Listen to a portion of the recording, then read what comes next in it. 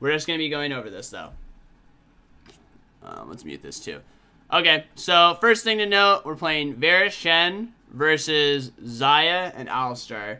So, the primary strength of Varus is his level 6 all-in and his early trading, especially at level 1. Pretty much no champion in the game can out-trade Varus at level 1 because he'll auto E, which then slows you, right? And then he'll auto you again. So that's what we're primarily going to be focusing on when the laning phase collides.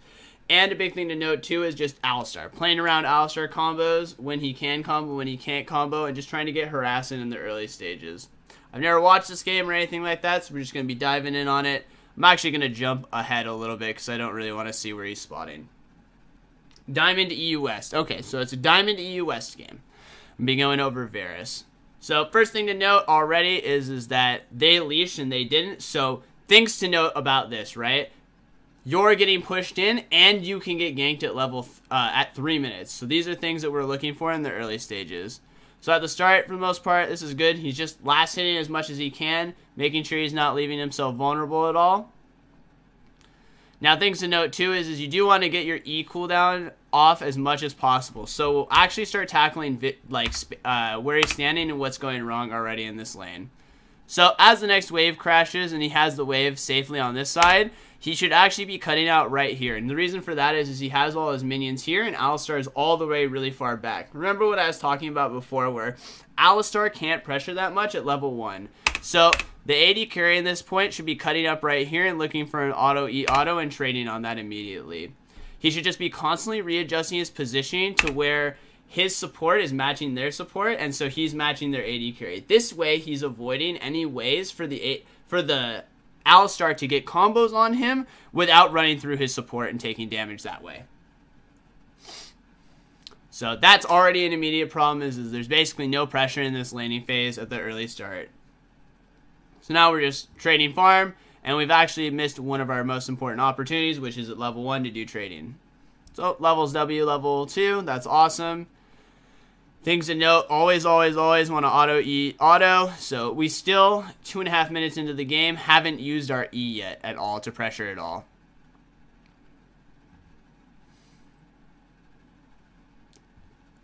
So this is good. Just always make sure that you're auto-attacking and pushing out the wave. And he just needs to make sure that he's constantly shifting positions so that his support matches their support. Because if the Alistar walks up, then he either has to combo the Shen or walk through the Shen, which then causes the guy to take a lot of damage. I'm probably going to spend a decent amount of the time kind of tackling the laning phase issues that are happening in this game. But positives to look at already, though, is that he is CSing extremely well. He's only missed like one or two minions total, so that is a really good thing that he's having having happen in his laning phase constantly playing around the Alistar pressure, and he should just be constantly, remember, just shifting where he's standing to wherever the Alistar isn't. That way he can take one-on-one trades with the AD carry and create pressure in this lane.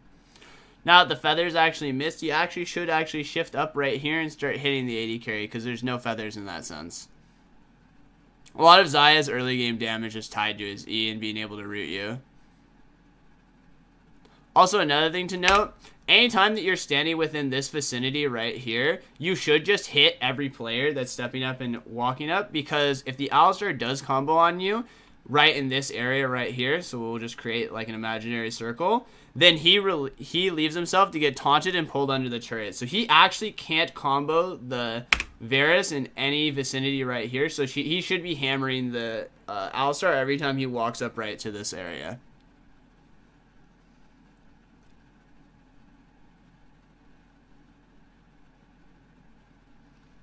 So at this point in time, hasn't seen the jungler pretty much the whole game, right? So at any point in time, he could get ganked. So when that when this wave gets cleared right here, before this second wave crashes, he should definitely walk over and ward tri. Because at four minutes, the jungler can be anywhere. He hasn't seen the jungler anywhere, and so he doesn't know what his route is. So having a ward behind the tri so that you don't get ganked from behind is really important. Plus, then if you have that ward there with your jungler in the bot side, you can kind of navigate how to fight 3v3.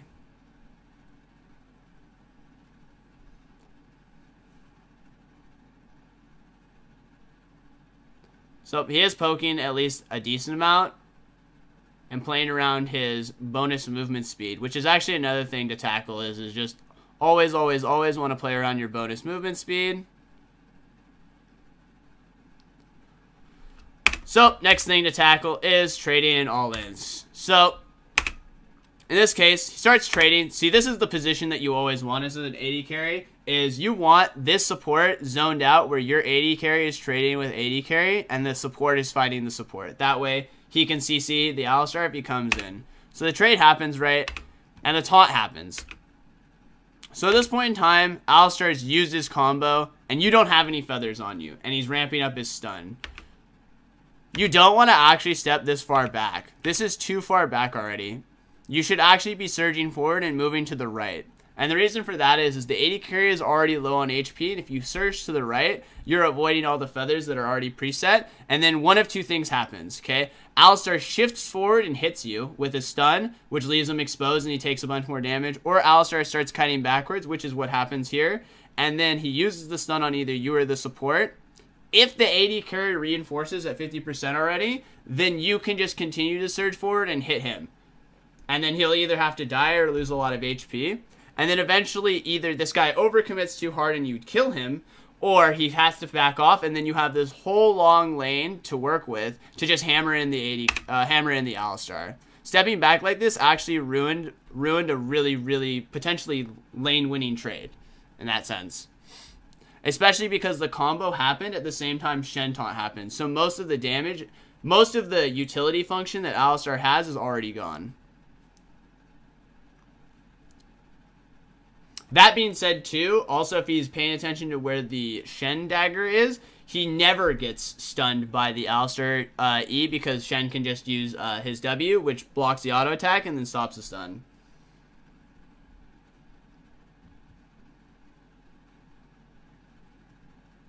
Also, another thing to note, when is he using Qs? Oh, okay, he used it to last hit. Okay, it's not that big of a deal. So don't think Varus should be struggling too much in mana if he's not using his Q too frequently. Should pretty much only use it to pop stacks. I guess the last hitting is not a big deal. But it does put some mana constraints on you for sure.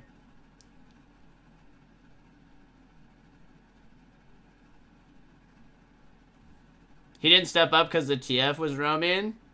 Uh, TF gold card doesn't matter in this game because same thing. Spirit's Refuge blocks the gold card. So after the combo is down, he he can't get gold carded. So there's no reason to respect the Twisted Fate uh, roam at that point in time.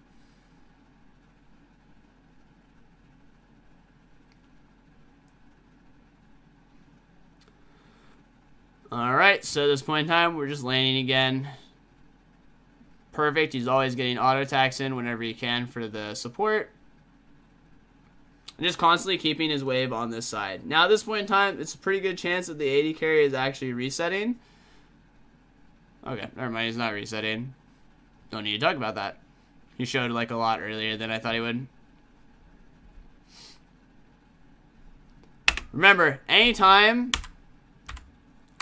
anytime that you're in this circle right here, Alistar can't combo on you. And feathers are used. So the second this guy walks forward and feathers are used, you should just step forward and challenge on this AD carry. If the Alistar combos back here, then he's going to get taunted under the turret and die.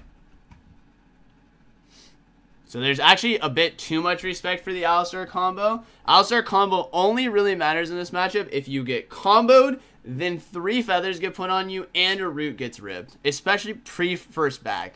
Because really, Xayah does not do that much damage in pre first back. Until she gets her BF sword, she's actually pretty weak.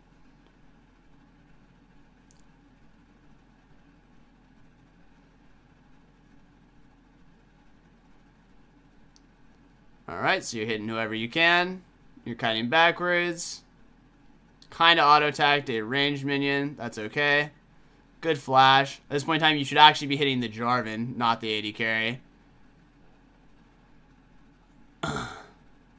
Alright, so let's tackle this whole scenario after it's kind of erupted as it's going on. Okay. So things to look out for when you're having a skirmish like this. Okay? So, they start ganking you. You're kiting backwards. You're missing some damage by not actually fully auto-attacking on the cusp. Especially because Alistar has already used his W, so you should have been kiting out and just hitting a lot closer to them. But this is okay. You're still auto-attacking. You kind of put an auto-attack into the minions. That's not too big of a deal.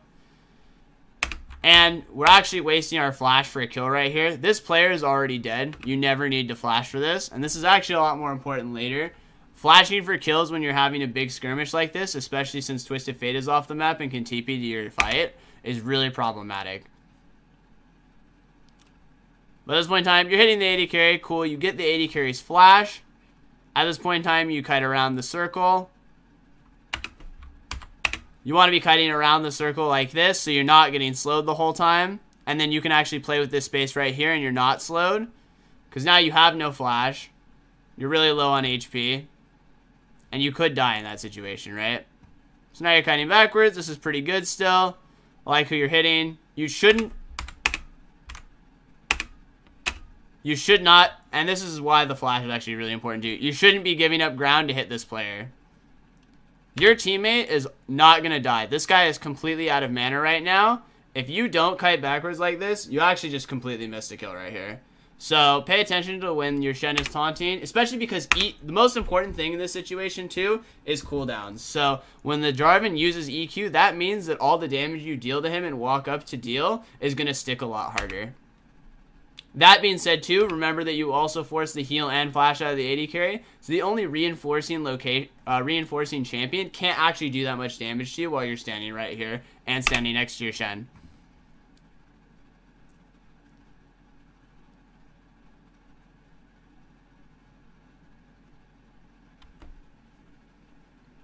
So, things to take away from that. Don't waste flash to get a kill when you're in a huge skirmish. If you're just flashing to get a kill because that's already dead, right? And you're already a part of a bigger skirmish. So in that case, like Twisted Fate was probably going to come down, and there were still two other people alive. Don't don't make a good habit of that. That's really not worth it.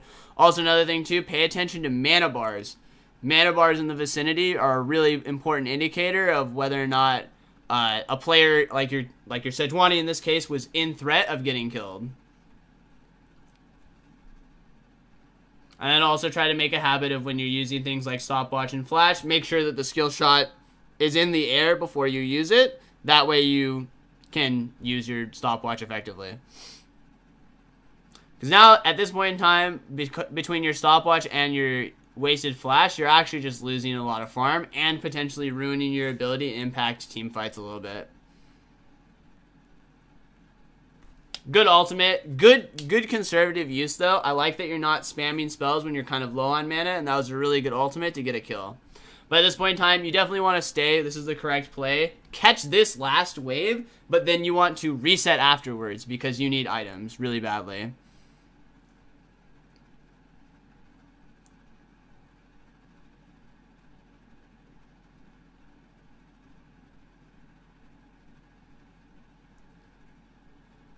Perfect. Good job resetting. And I'm going to skip through this a little bit. Buy two pieces of Guinsoo's. Excellent. So you're also buying the Ninja Tabi. Um, one thing to note, actually, though, I'd probably just not bother with the blasting one and just sit on the gold. So for this buy path, because Varus doesn't really get too much AP ratios, it's different on Kog'Maw, who gets really nice AP ratios. You should just complete your Ninja Tabi because the jungler is an auto attacker, Twisted Fate to a lesser extent is an auto attacker, and you're laning against an AD carry. So this will this will unlock you a little bit better. So kind of a nitpicky thing, but you should definitely have been buying a Ninja Tabi completed here instead of getting the blasting one, and then you should have gotten like a pink ward or a refillable potion as a secondary part of it. All right, now we're back into lane.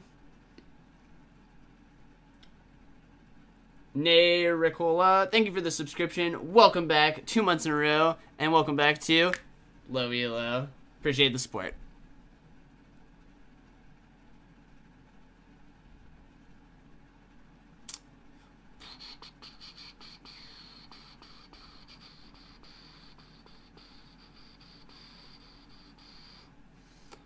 Alright, so we're just laning right now. We now see that the jungler is on that side. Feathers have been ripped. So at this point in time, you should be stepping out to get wards. This is what you should be doing. Like you can use your trinket ward there. That way your teammate can ward a little bit later in that sense, once you get the push advantage.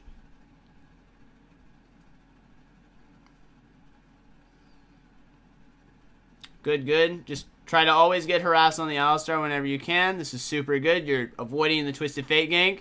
The Twisted Fate gank has happened on the other side of the map, though, now, so you should actually start pushing forward and hitting this Alistar as much as possible. Try not to use your E until you've gotten a lot of stacks on someone, too, because that's just a lot more percentage damage. You, want to get as many stacks, up to three, obviously, and then you can get your things. Alright, so let's tackle let's tackle what happens in this fight. And this is also why I'm a big advocate of getting the Ninja Tabi first, just to prevent scenarios like this from happening. So, let's start with let's start with Varus as a champion, right? You get up to three stacks and then you pop it and it does percent health damage. So in situations where it doesn't it looks like you can get more than one auto attack, which is I feel like a very obvious thing in this situation. Just don't use your E or your Q until you've gotten at least two or three auto attacks synced into them. This actually makes a pretty big difference in this trade because of how much damage you miss. Alright, so you've won the trade at this point in time, right? You've won the trade. Like, they're extremely low on HP. At this point in time, you just kite down to the left. And when the Alistar starts walking up to you, you should just use your ultimate on him. Now, the reason for that is it'll root him, and a lot of times, a lot of times it happens with uh. It's the same thing when Rise happens. If you're in range for a combo and you get rooted, a lot of times actually people not trolling you will fuck up and just pull on the ground, try to do a combo and then pull the ground.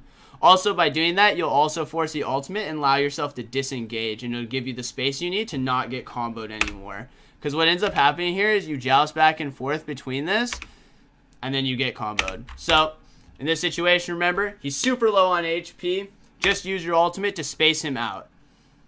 Like, I do realize that this taunt miss, and that is on his fault, but you see this taunt miss, and then you juke back into it, and you don't use your ultimate on the Alistar to buy you the space to step away. Because at this point in time, you're just toast, right? Like, you're kind of too deep. You've already used most of your cooldowns, and they're able to DPS you down.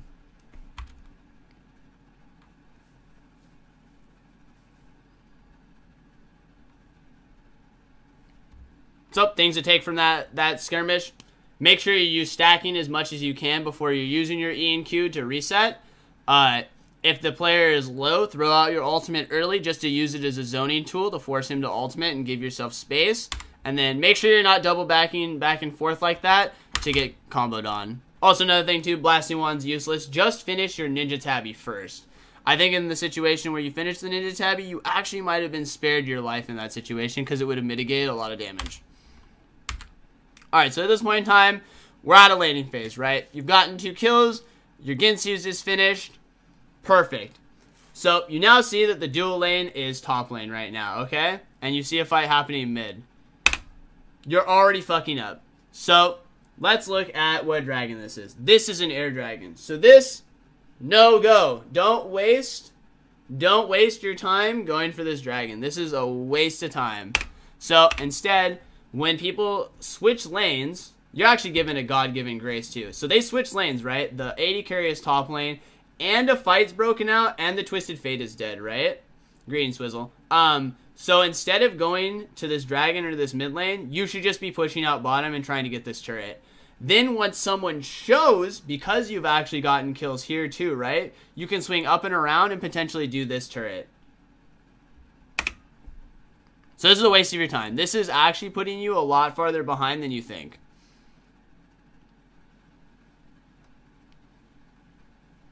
This is just a waste of time. If this is if this is a fire dragon or maybe even an ocean dragon, I can kind of see where you're coming from, but Air Drake, this is just a colossal waste of your time and actually just chunks you out substantially low. And and since you had kills in mid lane, you basically got nothing out of that. Another thing too, try to pay attention to the fruit. There was actually fruit right here you could have just picked up and gotten.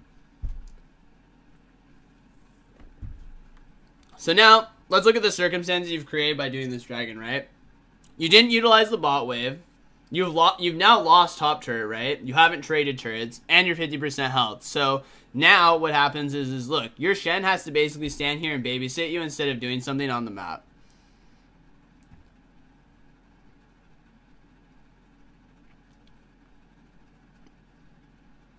Okay, so this is super bad too.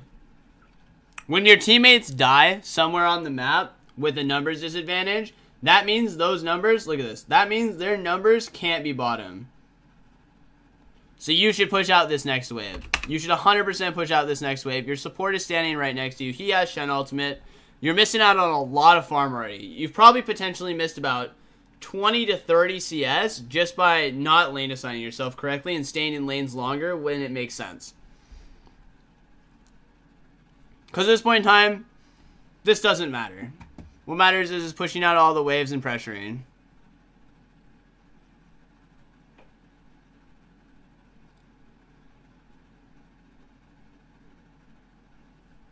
Okay, so let's tackle the next part, right? So since we've kind of fucked up on our lane assignments, you arrive at a team fight, right? You're using E to clear the wave. I totally understand that. It makes sense. You ulti. It doesn't hit the mark, but I understand what you're aiming at, and this is actually really good that you were aiming at the AD carry. So at this point in time, you've hit the you've hit the, you've hit this guy, right? He's not ulting. Nothing's happening. You should be scooting back and just DPSing on the outskirts because you want to be as far away from them as possible. Plus, your ultimate creates as you can see from the circle, a zoning situation where they have to basically give ground for the next couple of seconds. So you just want to cut backwards and just DPS this. This is already a fucked fight. Your Nidalee is dead. Your Zilean just died, right? And it doesn't even look like you're you're not even fighting with your Sejuani, right? And there's four people up here. So you're DPSing him. You weren't able to get the kill. That's okay. So let's target. Let's tackle an issue that we've seen uh, pretty asymptomatic symptomatic now from when you stop watching bot lane. You're flashing nothing. So, in this situation, right, you get gold carded. You get gold carded. You don't flash unless an EQ comes at you. 100%. You want to be flashing skill shots. You want to be flashing the things that are important, not just flashing to just get, gain distance. In this gold card situation, if you just stand here and DPS him instead of flashing out, and you hold your flash and you're just actively paying attention, you can flash the EQ, you can flash a potential combo, and completely flip this on its head. This is a wasted flash, and it's really not that important in terms of nitpickiness, but it's mostly uh, a problem I'm seeing with your play in the sense that you use your shit before something is actively coming at you that you need to avoid. So that's definitely something to work on in the future. Because right now, you should have flash. You should have flash for this situation.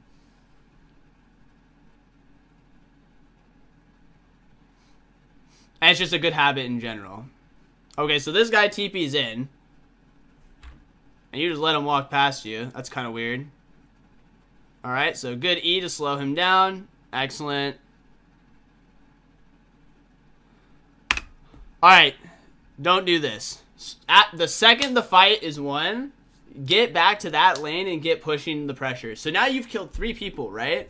The second those people those people die, Second, those people die, you need to just walk back up and go for this turret. Not spend three, four, five, six, seven, eight, nine, ten, eleven, twelve. See what I'm saying? Like, this is it's almost 30 seconds that you're not pushing this out and getting an objective. Your team doesn't need your help to get this Rift Herald. There's not people on the map to stop them.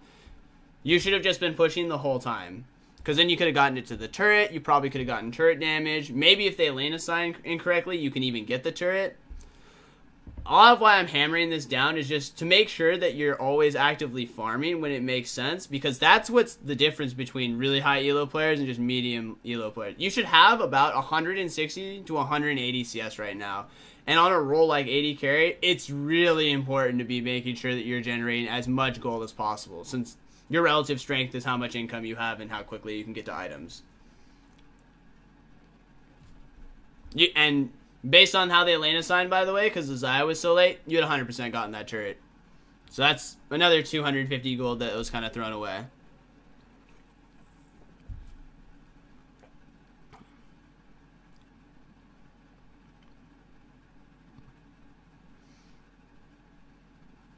Alright, so awesome. Your teammates helped you. You did a good job not playing too far up for when Alistar was moving. And now you're pushing out this wave, right? Using the Rift Herald. Oh, here's another compounding thing, right? Because you weren't pushing this out the whole time and didn't get the turret by yourself, now your team is wasting the Rift Herald on their first turret top instead of potentially grouping middle and using the Rift Herald mid. So that's like another turret that's kind of just thrown away as a consequence of not uh like of not like pushing out the waves fully and getting pressure on the turret when you've made kills. A good way to identify this is the second you've killed people, ask yourself this what can I get and do I need to help? Those are the two questions you should ask yourself. What can I get and do I need to help? So, first question, do I need to help for the Rift Herald, right? Answer is no. There's three people dead. Rift Herald is mostly tied to the eye damage, so that's why people can solo it, right? So, in that situation, no, you don't need to help that because no one's going to come contest it, so you should just push out top and farm it. So then, you know, what the things that you could get, right? You could get top farm and top turret or the Rift Herald. So, do I need to help with Rift Herald? No. People are dead. No one's going to contest it. So, boom, your second answer is how you figure that first one out, which is, all right, I can get the top farm and top wave.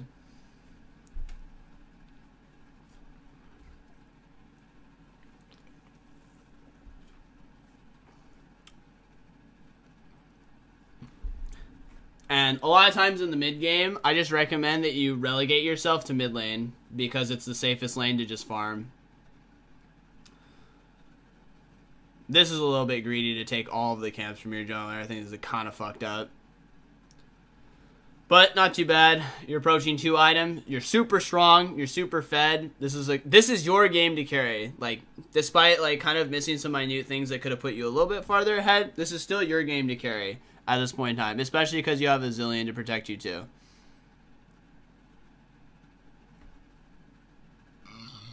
Okay. So let's tackle what your champions do and what can happen to you, okay? So we'll look at the map as you enter the waves mid lane.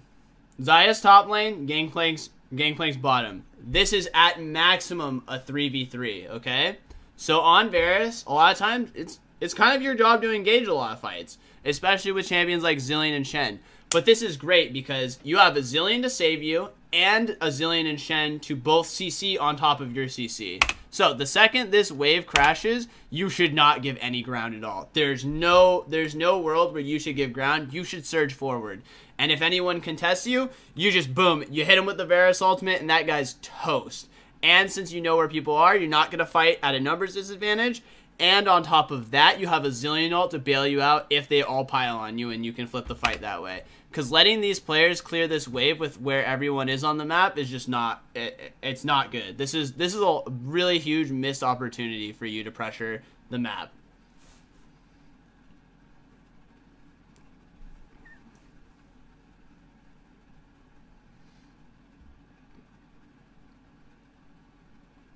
Alright, so at this point in time, we've got like, what, 30 or 45 seconds on Dragon. They're pressuring bottom, so you shouldn't even be walking up right here at this point in time. Just mostly clearing waves and kind of preventing them from getting any objectives. This is a good rotation. I like that you ping also so that people will come over to you. At this point in time, it should just be damage control. So you just you should actually be winding up a Q and shooting it there. There. Alright, so you just hit an Alistar. This is bad. So on champions that are really tanky and have ways to break your ultimate, if no one is hitting you besides this Alistar, you do not need to use Varus ultimate. This is this is unnecessary and it's a waste of it's a waste of your resources. He's already gonna have to ulti to dodge other damage. Imagine if you had Varus ultimate for any of these players right now. It would be so good for your team fight.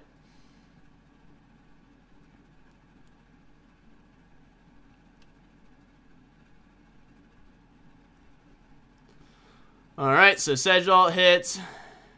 Excellent. You did play aggressive in that team fight, though. Outside of the ultimate, you played that team fight pretty well. You were safe, conservative, and DPS whoever was in front of you. So, next question, right? What can I get, and do I need to help? Perfect. I can get mid lane turret. I don't need to help with the top lane kill, and Baron's not up yet. So let's just go for let's just go for this turret. That was awesome. Good way, good team fighting. Just be a little bit more conservative on your ultimate. If people aren't in the vicinity to power down on you with the Alistar, don't use your ultimate on Alistar. Just slow him and just keep auto attacking him. So I like I like this a little bit, but it's a little bit risky because everyone is resing right now to do the dragon.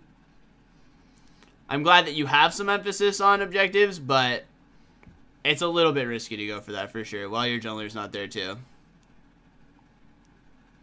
Alright, so you're able to collapse on him. Perfect, perfect. TF ult doesn't reach that far. Just grab the wave. Super good. And you're getting super strong. This is your game to carry, like I said. You're already fucking massive. You're 4-1 and 6. You are so strong. This is an easy game for you to carry. Now you're going for the objective. Let's make sure that you don't spam any spells too early. So we see Jarvan over on the right. That Jarvan should already be dead. That Jarvan should have already been dead. He should have gotten instantly ulted and died. Alright, not bad. So now you're killing the Twisted Fate. Perfect. Everyone's dead. Now it's just Alistar in front of you. Perfect. You're just hitting whoever's in front of you. I like this. You have your ultimate up now, by the way. So you can use it on anyone that comes in. Solid. What can I get? Do I need to help? Ooh, really good ultimate onto the AD carry. Solid. And now you're just DPSing whoever's in front of you. So at this point in time, you can just get this mid lane turret. And if you're paying attention to the bot wave, it's pushing it at the same time. So you have options to rotate after you get this turret. Especially with how long the super carries are dead in this situation. In this case, though, since you're at 3,500 gold, I'd actually recommend you just spam ping your teammates off and just reset. Because if you do go for top turret and you get stuck in a long fight, then you'll not have mana to contest Baron if they rush Baron. Alright, we're killing... We're, the enemy team just running into you. The enemy team is literally just feeding their brains off to you. Alright, so since two people are dead, you no longer have to worry about Baron is an op option, even if you're low on resources. So, awesome, you get the turret. At this point in time, you swing down and you do Baron. Wow, okay. That's a little bit wild. I'd have actually done Baron after I won this team fight right here and got Alistar Flash. I would have gone to Baron. But, okay, perfect. Everything's going great. Oh god, there's 14 more minutes of this game, though. What the hell happened? Okay, so let's see. So you buy the Wit's End. Makes sense, right? And then you buy a full blade of the Ruined King. Hmm. It's not terrible, but I'm not crazy about it. And the reason for that is, is I'd much rather just have you have a PD uh, so that you can duel anyone that's on you. Since you're already so strong, it's just a super valuable item in that sense, and it'll get you a lot better uh, attack speed, plus it'll crit. And I really like crit once you start scaling into the later stages of the game on Varus.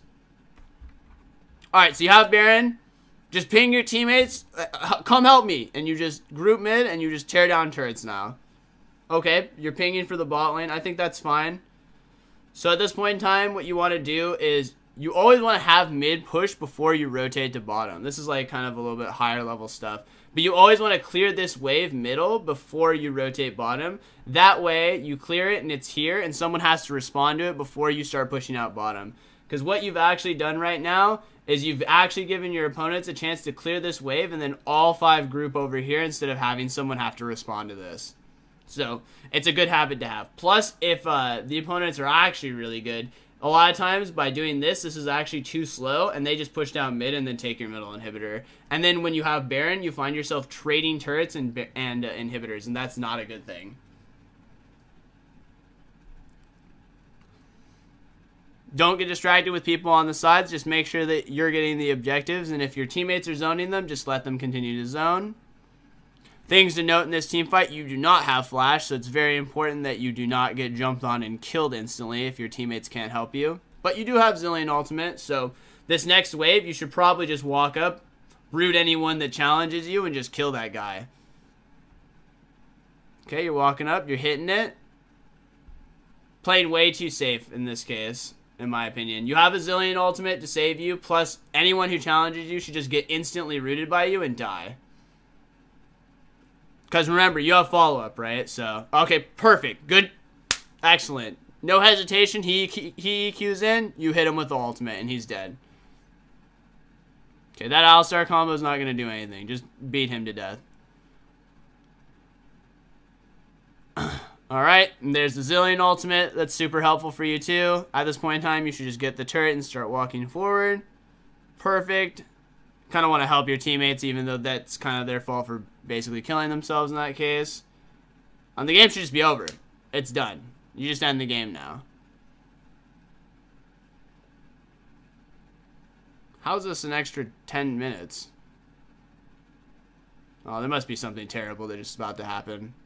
Cue like the Jaws music or something, right? Alright, you're just cutting backwards, hitting whoever you have. You're doing a really good job of killing barrels too, by the way. Mad props to you.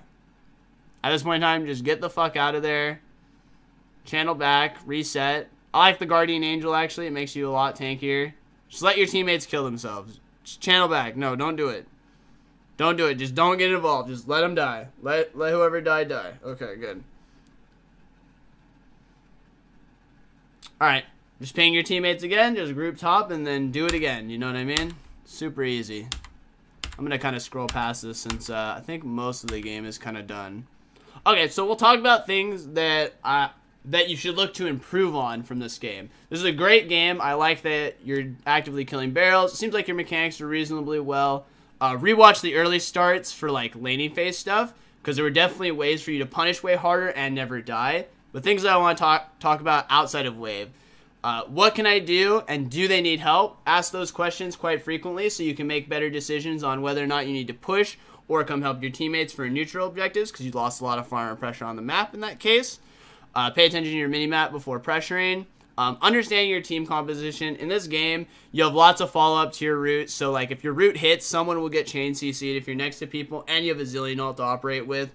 Be a little bit more forceful, especially when we reference the middle. Um, another thing, too, don't use your like outs. So we'll just use stopwatch, any escapes, flashes. Don't use those until you've seen the physical manifestation of the threat. We'll use the example, you know, EQ by Jarvan.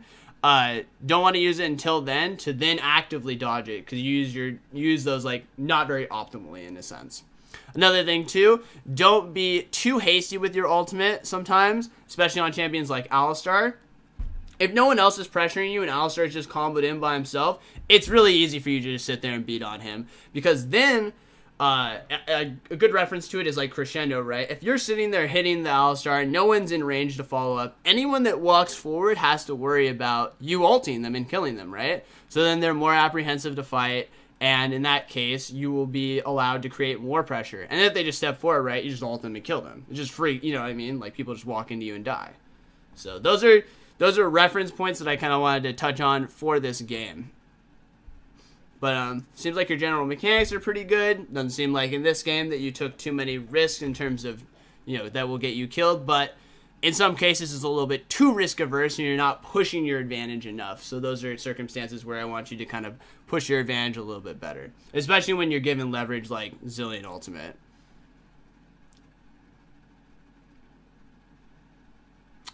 Alright, so we've got another team fight happening. You're just hitting whoever's in front of you. I like this. Used heal a little bit too early, IMO. And we're just kind of cutting backwards. What the hell happened in this fight?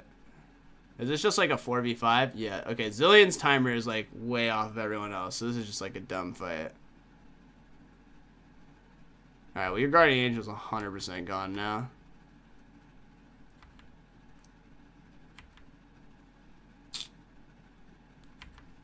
Kind of waiting out your respawn timer now.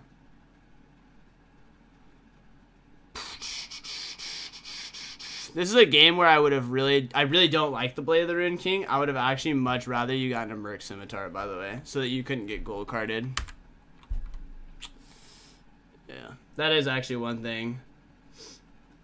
Why is Wit's End good in this game? Uh, it's really good with with Guinsoo's. So Guinsoo's every other attack causes you to proc on hit effects. That's why Blade of the Ruined King and Guinsoo's and like the passive and all that are just really really good. Because then it procs magic damage, gives him gives his team magic pen. And actually, if you look at his whole team, all four of his teammates are actually magic damage dealers.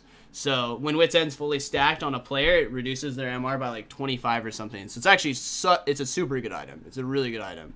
Also, at this point in time, Hurricane is useless to build. Usually get it early because it just gives you wave priority and pushing. So in this case, I don't really like the Hurricane. You should have 100% built a Phantom Dancer in this game. That way you can outduel pretty much anyone in this in this circumstance. Okay, so this game's kind of turned into a retard fest at this point in time. But all it really takes is you just team fighting well in one of the fights, and it should be pretty easy for you. You're doing a good job of clearing barrels, so hopefully we just keep looking for that. At this point in time, I'm going to kind of scroll through things until I find the next fight. I think the mid game can be a little bit boring. Especially when you just kind of group mid. Um, thing to note, actually, should, you guys should just be grouping bottom and getting this inhibitor back down before you even start pressuring mid. Since Baron isn't an option on your table, uh, you're not going to really be able to siege down an inhibitor turret outside of catching people. And your team comp doesn't die very well either. Okay, so we've got a team fight kind of starting to happen.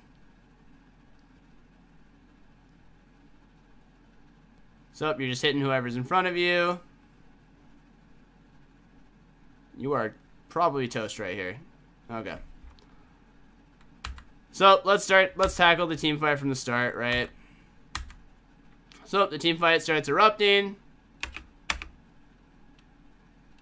The ultimate hits. At this point in time, you're just scooting back.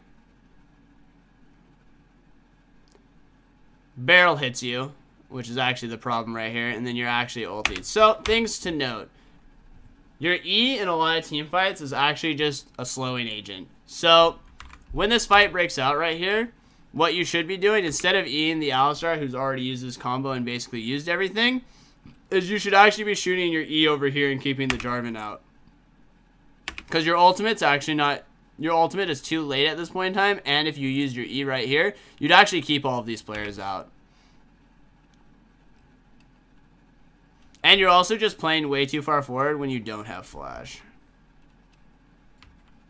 Alright. I had a feeling some terrible things happened in this game.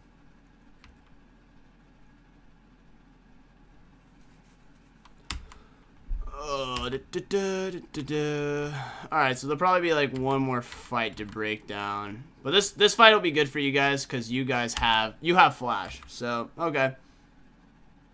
So the TF ulti's in, and gold cards you. So first thing to tackle, he ulti's in and gold cards you. Right? This is really bad by you. So remember what we're talking about. Your ultimate is a zoning tool and should be used to slow down and engage a lot of times. So you have multiple people coming in from this location. You have a Guardian Angel. And TF is porting in right here, right? This is also why Blade the Ruined King is a really bad buy, because if you have a Merc Scimitar, this, this play doesn't even make sense, and it's just inting. So at this point in time, you should be using your ulti and your E to just zone out secondary engage. If someone comes in really deep and you just keep everyone else out, you can just kill that guy for free. He, he's just a free kill. So in this circumstance, you should be throwing out your ultimate and using your E to just slow down any engage. And not use your flash, by the way. You should not be using your flash in this circumstance.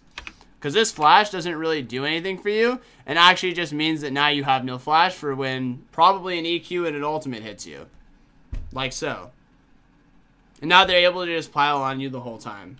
So this is a great this is a great circumstance though. So for team fights and later in for future reference, use your E and your ultimate to just zone out, follow up engage. Zone out, follow up engage. If if they're engaging on you, you just want to make sure that disruption is what's happening in the circumstances.